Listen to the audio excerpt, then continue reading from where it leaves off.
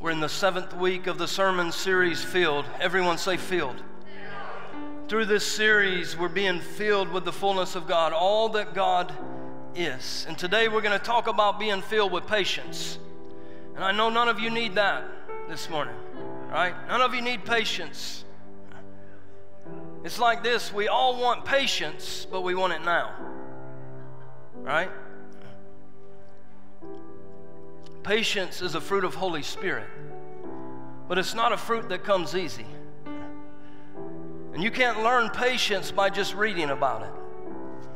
Patience has to be developed. Patience is a product of practice, and you know the saying practice makes perfect. And if there was anyone in this Bible that needed the practice, who would you think that it might be? Simon Peter. Simon Peter's probably the most impatient guy in this Bible. I wonder who might be the most impatient person in this place today. No name calling, no pointing fingers. But there is a great lesson on patience in Simon Peter's story. And I want to start in Matthew chapter 4, verse 18. I'm reading from the Message Bible this morning. The Bible says, walking along the beach of Lake Galilee, that's where many of us would like to be right now, walking along the beach, right? Jesus saw two brothers, Simon, later called Peter, and Andrew. They were fishing, throwing their nets into the lake. It was their regular work. Jesus said to them, Come with me, I'll make you a new kind of fisherman. I'll show you how to catch men and women instead of perch and bass. Jesus was teaching the disciples how to catch women, y'all. they didn't ask questions, why would you? but simply dropped their nets and followed. Let's pray. Father, we thank you again for this moment in time. We thank you for this word that's so ripe and in season for each and every one of us today. And God, I pray for a strong anointing from beginning to end, from the first word to the last, every point, every scripture, every illustration. God, anoint the deliverer, but also anoint the receiver. Anoint hearts, minds, eyes, and lives. Speak to your people. God, I pray for great revelation in this hour of great darkness, and that you would prepare your people for what's ahead. Make us ready in this hour. We thank you. We honor you. In your mighty name, if you're ready to hear God speak, say amen. On this day by the lake shore, Jesus called Simon Peter to be a fisher of men. A fisher of men was the original mandate that God had give, given the disciples. The mandate or the Great Commission to go ye into all the world and preach the gospel to all creation. Mark 16, 15. Matthew 28, 19 says to baptize them in the name of the Father, the Son, and the Holy Spirit. But, church, Simon Peter knew nothing about fishing for men. He knew how to fish for fish because he was a fisherman. And how many know it takes patience to fish? When it comes to fishing, JoJo has none. He expects to catch a fish as soon as he drops the line into the water. And if he doesn't, he reels it in and throws in again and again and again and again. And I'm like, JoJo, you cannot catch a fish unless the line is in the water. They're never going to bite outside of the water. It takes time. Just throw it in and wait. And the title of my sermon today is It Takes Time. Everyone say, It takes time. It takes time to get a bite. It takes time to catch a fish. It takes time to learn to fish. It takes time to become a fisherman or a fisher of men. It takes time. And Jesus spent the next three years teaching Simon Peter how to become a fisher of men. And I want you to notice that Simon Peter was called to be a fisher of men in Matthew chapter 4. But Simon Peter didn't get to preach his first sermon until Acts chapter 2. When I was a youth pastor, I always had a burning desire to preach the word to preach on Sundays from the main stage to the main congregation because I felt like God had given me a word for the church in that hour. But, church, I only got to preach like once a year if I was lucky, or unless the pastor was sick. And so I prayed regularly God, please let them be sick this Sunday. I've got a word. I'm joking. I'm joking, Pastor. Your sickness was not a result of my prayers. God doesn't work that way. So Simon Peter was called to preach in Matthew chapter 4, but he didn't get the opportunity to preach until Acts chapter 2. Church, there was a distance of time between Matthew chapter 4 and Acts chapter 2. And I don't know the exact distance of time, maybe three to four years, because it takes time. See, there's always a distance of time between the promise and the possession.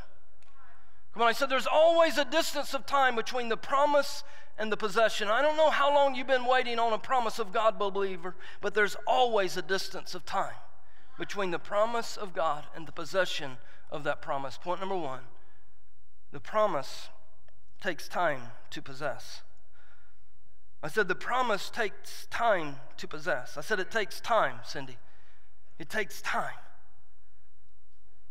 And this is where patience is developed in between the promise and the possession. See, this is where patience must be practiced in between the promise and the possession.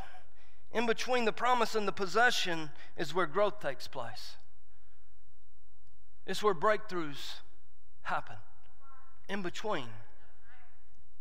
I wonder how many of you in this place today are in between the promise and the possession. I wonder how many of you are in the midst of a growing season. I wonder who's about to step into a breakthrough season. In between is always eventful. Peter's in between was rather eventful, almost comical, y'all. Peter was very impatient. He thought he knew better than Jesus, the God in the flesh. He argued with the disciples on multiple occasions. He argued with Jesus. He cut a guy's ear off. He cussed three people out by the fire and he denied Jesus three times. Church, St. Peter gives me great hope today. See, God was patient with Peter's impatience. And how many thank God that he has more patience than you this morning? Let's go to 2 Peter 3 9. And the Bible says, and this is Peter speaking, he said, The Lord isn't slow to do what he promised, as some people think. Rather, he is patient for your sake. Everyone say, Your sake. He doesn't want to destroy anyone, but wants all people to have an opportunity to turn to him and change the way they think and act. Church, Peter was speaking from experience. Simon Peter was an impatient guy, very impatient guy, like many of us this morning. But listen, church, Jesus knew exactly how impatient Simon Peter was the day he called him on the lakeshore in Matthew chapter 4. Jesus knew that Simon Peter would be impatient with instructions, with people, with circumstances, and with his calling. See, Jesus doesn't call the equipped, he equips the called. Amen. Simon Peter is a great example of impatience.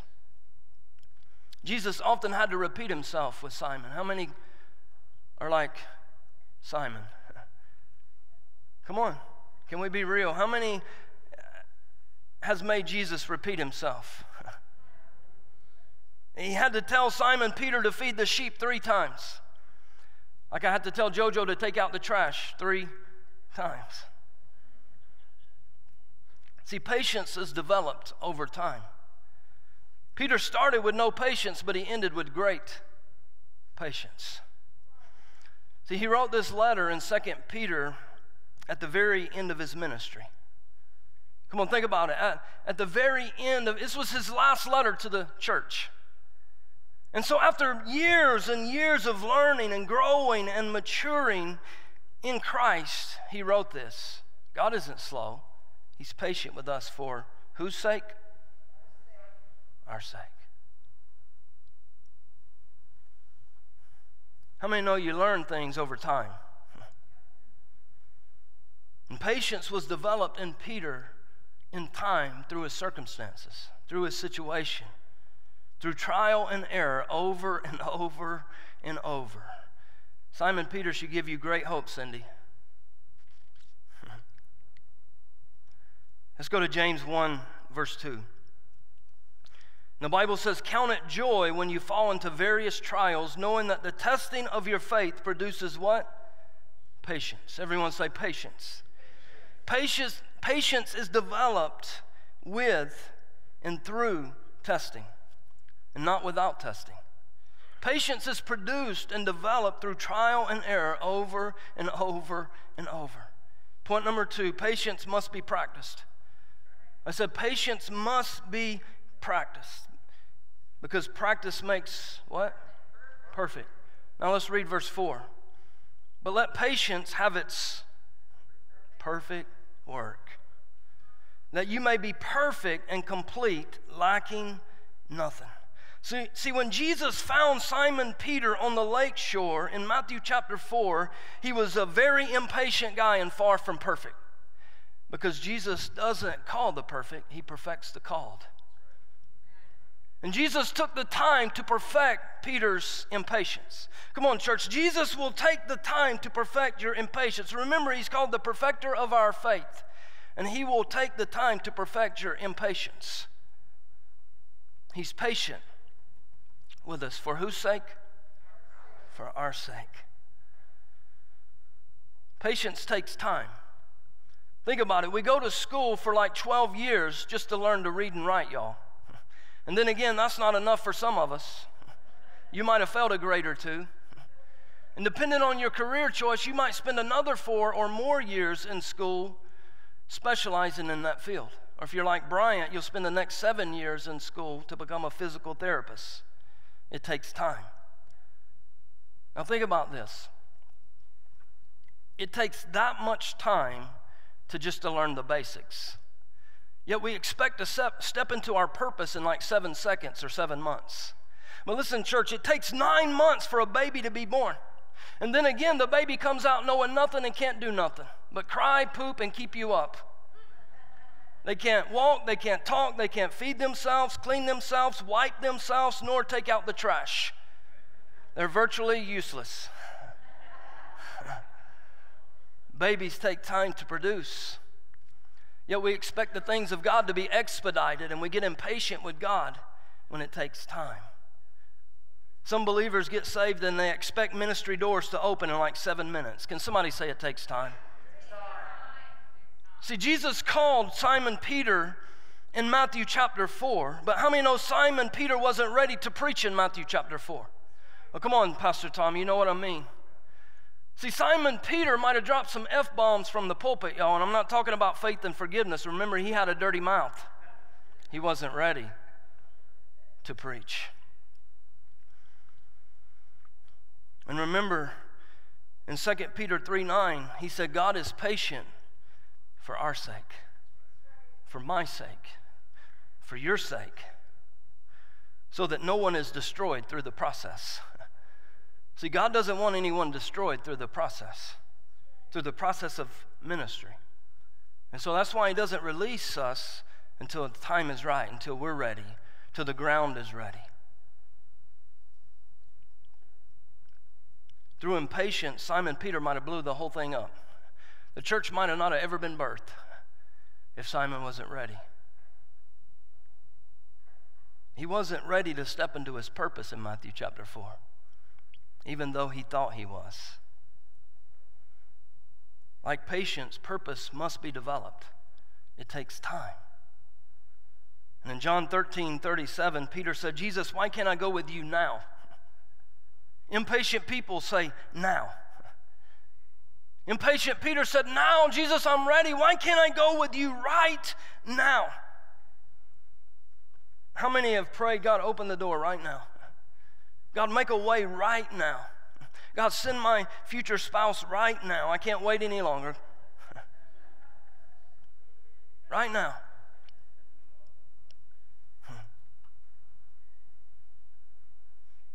But Jesus said, You're not ready Simon. Jesus said, It takes time, Simon. And Peter probably felt like Jesus was trying his patience. Anyone ever felt like Jesus was trying your patience? Will anyone be real today? I'm sure Peter was frustrated in this moment. Listen, I know firsthand the frustrations of ministry, of waiting and waiting and waiting on God or a promise of God to be fulfilled. I'm sure he was frustrated in this moment. God, why isn't it happening? Jesus, I'm ready to be sent out. It can be frustrating waiting on a God whose timetable is very different than ours. Remember, a, a day to him is like a thousand years to us. Or let me say it this way a thousand years to us is like a day to him. Now let that hit home. On God's timetable, everything is on warp speed, but on ours, it's on sloth speed. As much as I would like God to speed things up down here, that's not the way it works. Point number three patience is submitting to God's timetable. I said, patience is submitting to God's timetable. See, God knows when we're ready for the purpose that He created us for. And He will release us when we're ready, when the time is right. He's patient to get us ready. And when we forget, He reminds us. How many's ever needed to be reminded? And how many's ever needed God to confirm a promise in your life? Jesus confirmed his promise to Peter in Matthew 16, 18. A very familiar verse I want to read, but I'm reading from the Passion Translation. The Bible says, and Jesus says, I give you the name Peter. This is where Simon's name was changed to Peter. And what does Peter mean? A stone, a rock, Petros. And this rock will be the bedrock foundation of which I will build my church, my legislative assembly. And the power of death will not be able to overpower it. Jesus confirmed Peter's calling in this verse, and he'll confirm your calling. Jesus gave Peter a greater revelation of his calling in this verse. He said, I will build and birth my church through you, and no demon in hell can stop it. That's a big calling, church. And that's a big promise from God. See, God has made some big promises to this pastor about this church and about this city. He said that Crossroads would not just be another church in the city, but be a church for the city. And he promised me this in CB and CL and Glenwood and beyond. And like Peter, I've lost my patience with God a time or two. I've gotten a little impatient with God. You said this, God, let's go. Let's do this. Come on now, God. Make this happen. Fulfill your promise. Right now, I'm ready. But Jesus said the same to me that he said to Peter, You're not. He said, It's not time.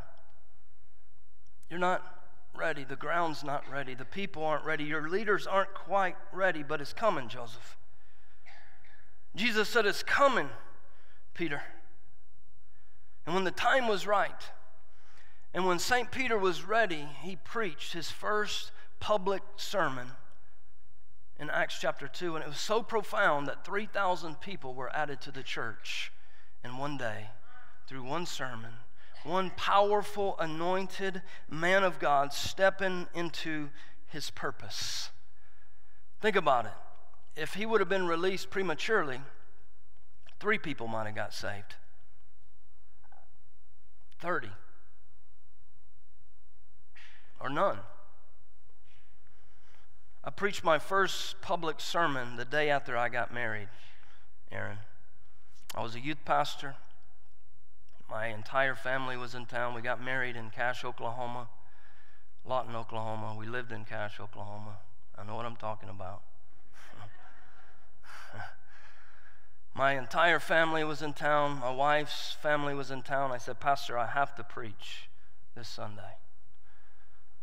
And I preached a message that God had laid on my heart. And you got to know a little bit about my upbringing. I grew up in a home where my dad never embraced the Christian faith. My mom was a Christian. She, she taught us. We did Bible studies at the table daily. She prayed with us daily. She would not let us miss church not one time. She wouldn't let us visit churches. It wasn't a cult, I promise. But she didn't want us to be fed by some other doctrine or philosophy of ministry. But my dad never embraced the Christian faith. He, he didn't have a problem really with us being Christians. In fact, he, he sacrificed, he worked hard so that I could go to a Christian school and graduate from a Christian school. But I prayed my entire life that he would give his heart and his life to Christ. Me and my youth pastor used to pray daily that God would get a hold of his heart. And the day after my wedding, when I preached my first public sermon, my dad gave his heart and his life to Jesus in that sermon. He, came to the altar and hit his knees at the altar and gave his heart and his life to Jesus. Today, he is an ordained minister. He is a chaplain over a min- motorcycle ministry. He teaches Bible studies. He is being used by God in a, in a mighty way. He does a daily prayer time on Facebook Live every single Thursday evening. and so, years and years and years of praying. How many know it wasn't time? It takes time. See, God had a plan, God had a purpose. And I thank God for being a part of that plan, of being able to lead my dad to Christ. I've got another powerful story I'll share at another time, but I was able to lead my father in law to Christ and lead him through the sinner's prayer. And he gave his heart and his life to Jesus. And I've got it on video because he was basically in his last days of life. And so we, I asked him for his hand in marriage and led him to Christ in that meeting.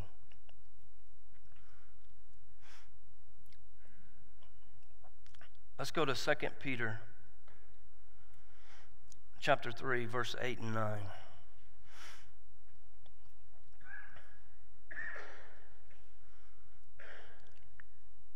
Peter said, But you must not forget this one thing. And remember, this is his last letter to the church, and he's wanting them to remember this one thing he said, A day is like a thousand years to the Lord, and a thousand years is like a day, which he, he repeated the words of King David from Psalms. In verse 9, he says, The Lord isn't really being slow about his promise, as some people think. No, he is being patient for your sake. Peter spoke from experience. The Passion Translation says, His delay reveals his patience. The Voice Translation says, God's timetable isn't the same as ours. I don't know, but I think I can sense a tad bit of frustration in Peter while reading this. See, patience wasn't a natural fruit in St. Peter's life. He wasn't born with patience, church. It had to be developed, it grew in time. Patience isn't a natural fruit in your life. You weren't born with patience, believer. In fact, you were born impatient. How many were a patient toddler? One of you? You're lying. I've never met a patient toddler in my life. I want it now. and what do they do if they don't get it? Throw a fit. But we've all been told to be patient, right? Is there anyone in the place not ever been told to be patient? Not one person. Yet we're taught impatience through society. We want everything in an instant. We want everything right now. Again, we want patience, but we want it right now. We want a microwave kind of patience, don't we? Listen, I know impatience very well. I can get impatient with the microwave. Anyone? When I'm hungry, it's time to eat. People, we are so impatient, we get impatient with fast food when it's not fast enough. Right? I witnessed a lady at Walmart the other day getting impatient with the cashier. But get this, she was in self checkout. we are so impatient, we get impatient with ourselves. Has anyone ever run out of patience with yourself?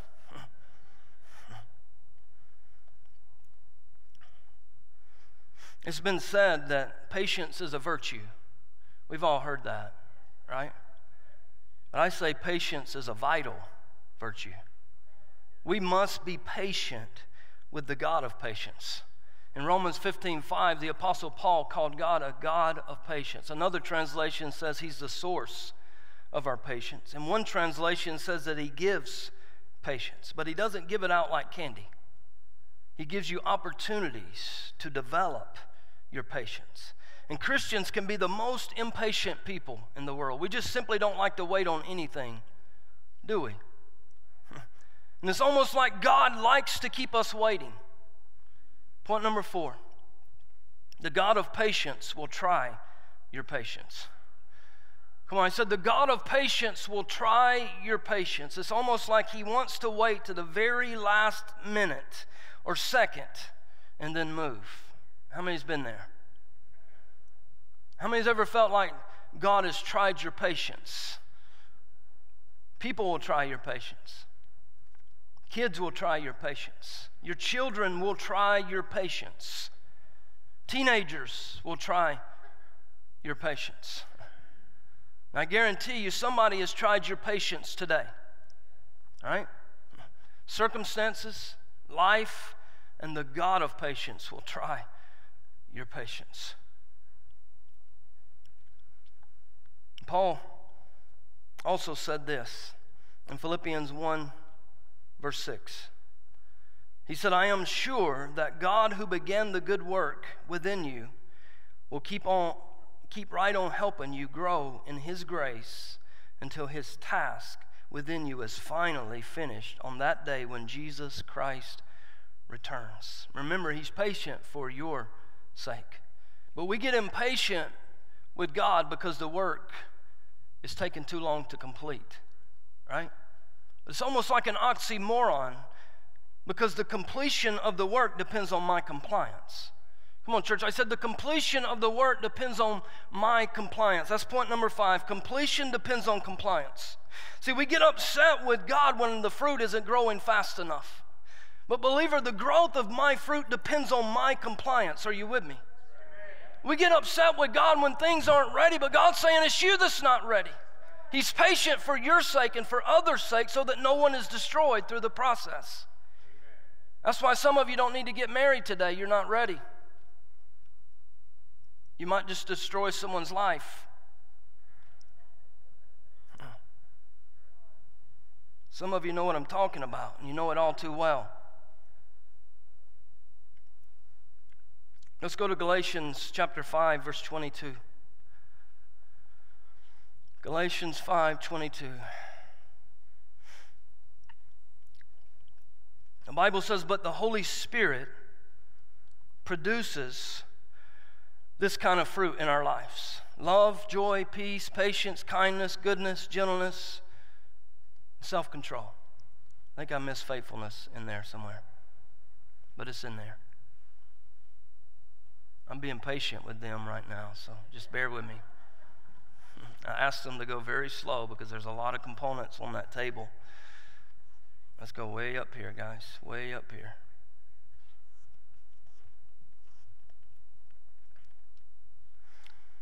The Bible says that patience is a fruit of Holy Spirit. And the Bible says that the Holy Spirit produces this fruit in you. Notice the word produce or produce, as in a fruit or a vegetable. And if these spiritual fruit were physical fruit, love might be a strawberry. In fact, how many gets chocolate covered strawberries in February? These are probably one of the most favorite fruits, right? These are the easiest to grow. These take about six months to produce from seed to fruit. That's about right. You can fall in love in about six months, right? If joy was a fruit, it might be a raspberry. These take about 18 months to produce. If peace were a fruit, it might be a pineapple. These take about two years to produce, from seed to fruit. The fourth fruit of the Spirit is what? Patience. Patience takes time to grow, right? Takes time to develop. And if patience was a fruit, it might be a lemon sour and bitter. Come on, how many feel me? These take about three years to produce from seed to fruit. I think that's what it took to produce Peter about three years, right? I think it took about three years to produce an ounce of patience in impatient Peter. But think about this Peter walked and talked with Jesus for three years. Simon Peter sat under Jesus' ministry in person, not online, not virtual, in person for three years. We don't have that great privilege. Listen, the best you get is Pastor Joseph. And so, if it took three years of following Jesus in person to develop Simon Peter, it's going to take you a lot longer, believer. Right? A lemon is probably my least favorite fruit. I don't sit around and crave lemons. Wish I had a lemon to slice up and eat. Patience is probably my least favorite spiritual fruit besides self control. And I know some of you know what I'm talking about. This probably takes the longest time to produce. But all of these fruits don't start off as a fruit they start off as a seed. This is a lemon seed that produces a fruit. In how many years? Three years. First has to be planted, cultivated, taken care of, watered, sunshine, and in time it grows to a tree that produces lemons. And you know you can't make a fruit, right? You can't go to a factory and make fruit. You grow them. But it's in between the seed and the fruit that growth takes place. It's in between the seed and fruit that breakthroughs happen. And just like a fruit, a physical fruit, a lemon takes time to grow, spiritual fruit takes time to grow, believer. And it's in between the seed and the fruit that growth takes place. It's in between the seed and the fruit that breakthroughs happen. And when we grow in faith, when we mature in faith, our fruit grows and blossoms. Let's go to 2 Peter 1 5 through 8. And the Bible says, But to obtain these gifts, you need, you need more than faith. You must also work hard to be good. And even that's not enough. For then you must learn to know God better and discover what He wants you to do. Remember, our prayer for 2022 is God, what are we called to do in 2022? Not just as a church, but individually, because we are the church together. Verse 6 Next, learn to put aside your own desires so that you will become patient and godly gladly letting God have his way with you. Verse 7 this will make possible the next step. What are the next steps in Christianity? What comes after salvation? Baptism. Studying the Word, reading the Word, spending time in the Word. Prayer is the next step. Tithing is the next step which is for you to enjoy other people and to like them, and finally you will grow to love them deeply. Verse 7, verse 8, this is where it's at. The more you go in this way, the more you will grow strong spiritually and become fruitful and useful to our Lord Jesus Christ. The title of next week's sermon is Fruitful. See, waiting can be bitter. Delays can be bitter, believers. Setbacks can be bitter if we let it. If I take this lemon,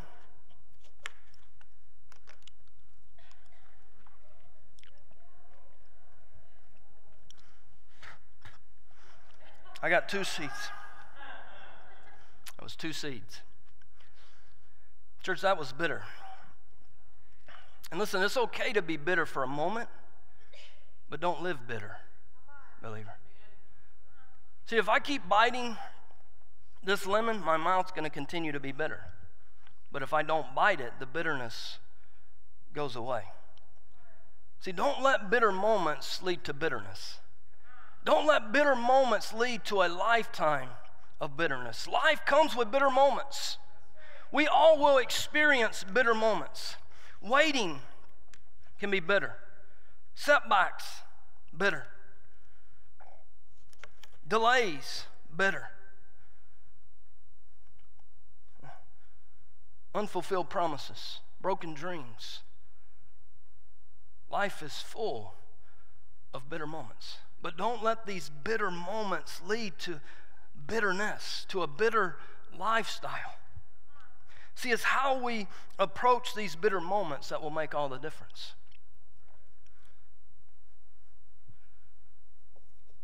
When life gives you lemons, make lemonade. Oh, come on, church. I said, when life gives you lemons, make lemonade.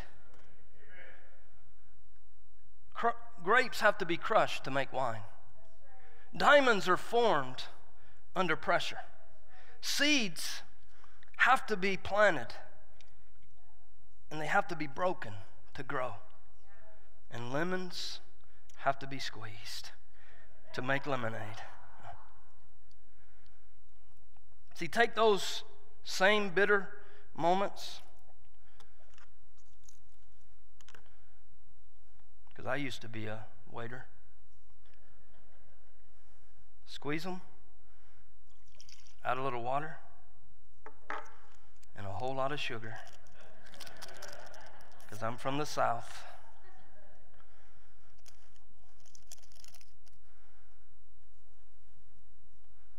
Stir it, mix it up, and voila, you got lemonade. Something, something sweet from something bitter, another seed.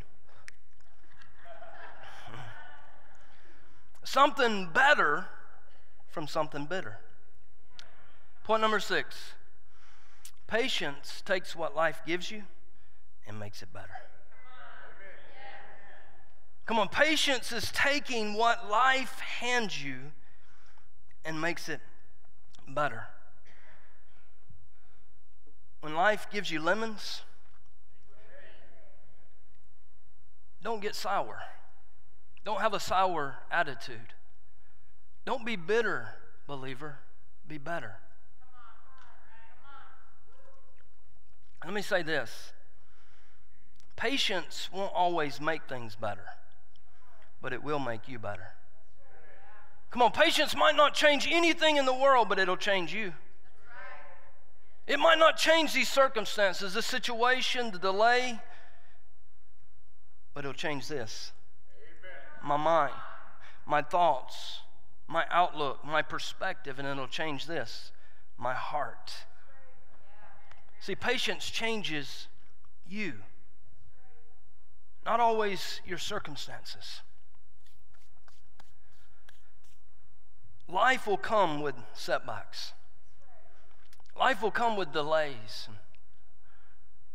failures with broken dreams, broken promises. But patience prepares you for all of it. Patience prepares you for the delay. Patience prepares you for the setback. In Hebrews chapter 6 verse 12, the Bible says that patience inherits the promise. And you know what that means? Ronnie, that means patience receives the promise. And what is patience? the ability to wait on something without giving up. Setbacks, delays, failures, mistakes.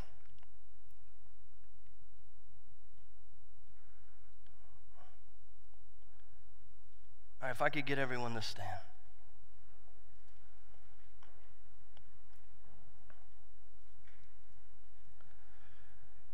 Hebrews 6, verse 15 says that Abraham received the promise by waiting patiently. It takes patience to receive the promise. And listen, I don't know how long you've been waiting on a promise of God. I don't know what God has in store for your life. I don't know if you're standing before a delay, a setback, a failure. But I know that I know that I know that God has a purpose and a plan for your life wherever you are. And it takes patience to step into that purpose. It takes patience to step into that promise. Like Peter, he could have gave up. When he failed, when he made his last mistake, when he denied Jesus, he could have walked away. but he didn't. Said he didn't. Because Jesus affirmed him. He, he confirmed him and affirmed him at a later time. He set him down and he made him breakfast. How many know that story? Jesus made Simon Peter breakfast to affirm him, to remind him of his calling. And that's where he said, Peter, feed my sheep. He said, Peter, do you love me? Yes, Jesus, I do. And if you know the story, Jesus asked him three times why?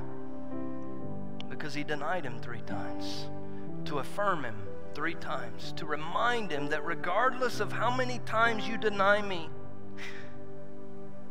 you still have a plan. There's still a purpose written over your life. And if you'll take the necessary steps, you can fulfill it, Simon. And he's saying the same thing to each and every one of you this morning. Regardless of the mistakes you've made, regardless of where you are, or how long you've been waiting, plan A is still written over your life.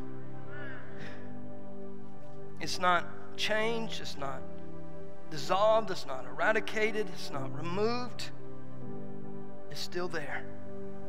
And so, Father, I pray that you would speak to every heart and mind that's in this house today, those that are viewing online, that they would come to grips that you have a plan and a purpose for their life, regardless of where they are, where they've been, regardless of the mistakes, regardless of how long they've been waiting and maybe walked away through the process.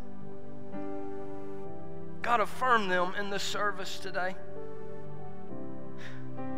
Holy Spirit, I pray that you would bring affirmation into the hearts and the minds of your people in this house today. Confirm their calling, confirm their purpose. And God, let them leave this place today knowing that you have a plan and a purpose. And that in time, when they're ready, when the ground's ready, when the seed is ready, it will be harvested, fulfilled. So thank you, Father. Thank you for the word today. Thank you for each and every person that's here today. And I pray that we would all be filled with patience in the hour that we're walking into. And we thank you in your mighty name. With every head bowed, every eye closed, before we leave, I want to give the opportunity for anyone here that says, Pastor, I don't know Jesus as my Lord and Savior. But I'd like to take that step. I'd like to make that commitment. I'd like to ask for forgiveness. If that's you, if there's anyone in the house today, would you simply raise your hand and we'll lead you in a prayer? Anyone in the place? Okay. All right, look at me.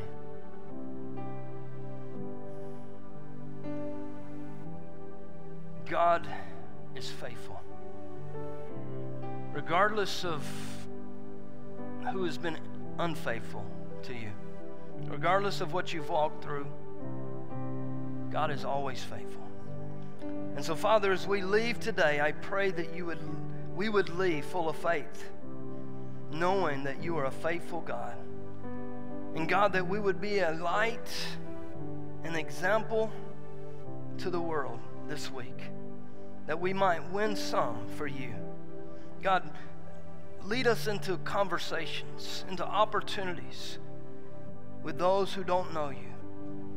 Open doors of ministry this week, God, so that we might plant a seed, speak life, pray with a friend, a family member, and lead them to Christ. In your mighty name, we thank you. Amen. Amen. God bless each and every one of you. We release you to your mission field. Be blessed.